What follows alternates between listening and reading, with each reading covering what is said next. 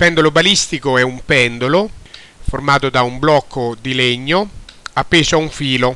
Veniva utilizzato dalla polizia scientifica per misurare per esempio la velocità eh, con cui vengono sparate le pallottole da pistole e fucili. Funziona in questo modo, la pallottola eh, si conficca nel blocco di legno, il blocco e la pallottola partono con una certa velocità V' e il pendolo si solleva di una certa quota H. O meglio ancora, invece di misurare la quota H, si misura l'angolo di inclinazione alfa. Dalla misura di questo angolo si ricava la velocità della pallottola. Oggi non si usa più il pendolo balistico per misurare la velocità dei proiettili, ma credo che si utilizzino metodi ottici e dispositivi laser, per esempio e così via. Però è interessante vedere la fisica alla base del funzionamento del pendolo balistico. Tutto il processo fisico si può dividere in due fasi. L'urto, in cui il proiettile si conficca nel blocco di legno, e, la fase di salita, in cui il blocco con il proiettile salgono fino alla massima altezza. Sono due fasi eh, separate una dall'altra. Cominciamo dall'urto. È un urto perfettamente anelastico perché i due oggetti rimangono attaccati e si muovono insieme dopo l'urto. E già sappiamo che negli urti perfettamente anelastici l'energia meccanica non, non si conserva mai, si può dimostrare rigorosamente.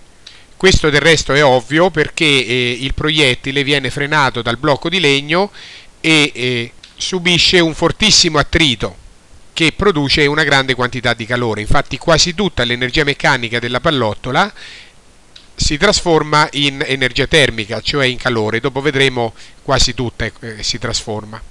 Tuttavia, essendo un urto, in tutti gli urti si conserva invece un'altra cosa, non l'energia meccanica, ma la quantità di moto totale.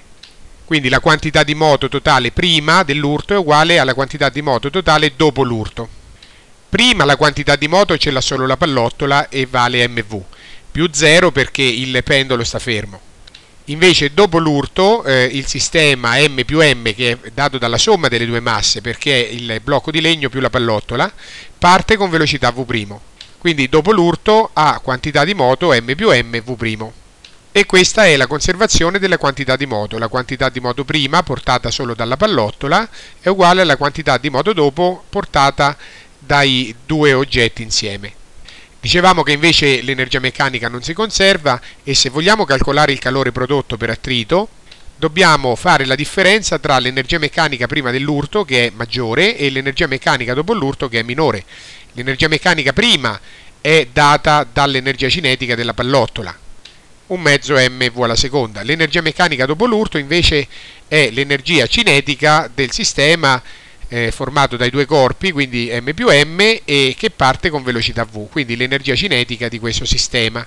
E si può dimostrare rigorosamente che dopo l'urto l'energia meccanica di questo sistema è sicuramente minore, anzi è molto minore, dell'energia meccanica che aveva la pallottola da sola prima dell'urto. La differenza fra queste due quantità, tra questa e questa, ci dà il calore prodotto. Come piccola osservazione eh, diciamo che non c'è l'energia potenziale gravitazionale perché eh, fissiamo al livello del pendolo nel suo punto più basso, eh, per convenzione fissiamo arbitrariamente il livello h uguale a 0.